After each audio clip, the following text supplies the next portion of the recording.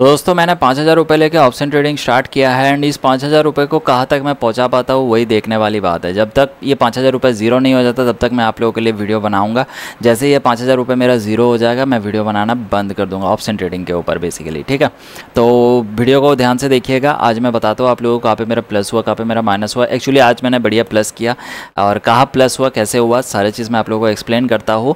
And video को start करने से पहले एक चीज़ बता दूँ। आज का वीडियो का हम लोगों का लाइक है, मैं ओनली फिफ्टीन लाइक तो जितने भी भाई लोग देख रहे हो, आप में से किसी को भी अच्छा लगता है देन डेफिनेटली अपने ओर से एक लाइक कर दीजिएगा। तो आज मेरा जो कैपिटल था लास्ट डे कुछ माइनस हुआ था, मैंने आप लोगों को बताया था। लास्ट वीडियो अगर आप लोग नहीं देखे हो तो एक बार देख लीजिएगा। जो लोग रेगुलर देखते हैं, उन लोगों को पता है, जो लोग नहीं देखते उन लोगों को नहीं पता है।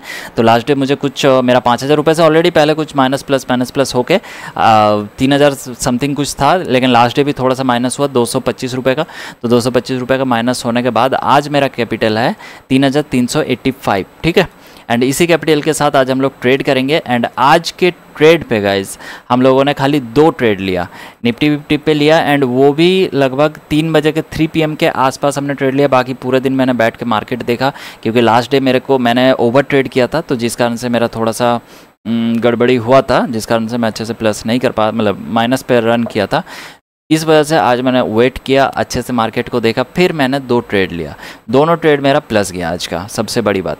दोनों ट्रेड में क्या हुआ, एक पहला ट्रेड लिया था वन इज़ टू टू का रेशियो लेके, इसमें मेरा टारगेट हिट हो गया मतलब एस एल हिट नहीं हुआ। इधर मार्केट अप ट्रेंड की तरफ़ जा ही रहा था तो मुझे लगा था एक बड़ा कैंडल बन सकता है इधर। तो इस वजह से मैंने इधर बाई किया एंड एक बड़ा कैंडल बना and one is to two का मेरा रिक्स और रिवर्ड रेशियो था एस एल भी थोड़ा नीचे था। तो ईजी मैं अपना टारगेट जो है वो हिट कर पाया। एंड देन तुरंत ही अगले कैंडल जैसी फुल एक रेड कैंडल बना। देन मैंने रिवर्स ट्रेंड पे एक फिर से पुट बाई किया। तो पुट बाई करने के कारण फिर से मेरा जो है वापस से मुझे एक अच्छा खासा प्लस मिला। अच्छा खासा तो नहीं मतलब सौ दो, डेढ़ सौ रुपये ये वाला जो स्क्रीनशॉट है ना, वो मेरे से बाई चांस डिलीट हो गया। तो जिस कारण से मैं आप लोगों को वो नहीं दिखा पा रहा, नहीं तो आप लोग देख सकते थे। ज़्यादा नहीं, एक में मुझे, मैंने टोटल आज तीन ट्रेड लिया, ठीक है? तो उसमें से पहले वाले में मुझे एक सौ सम, एक सौ तीस समथिंग का, दूसरे दूसरे वाले पे अस्सी रुपये के आसपास नहीं पहले वाले पे अस्सी रुपये दूसरे वाले पे वन थर्टी सेवन रुपीज़ के आसपास कुछ प्लस हुआ था।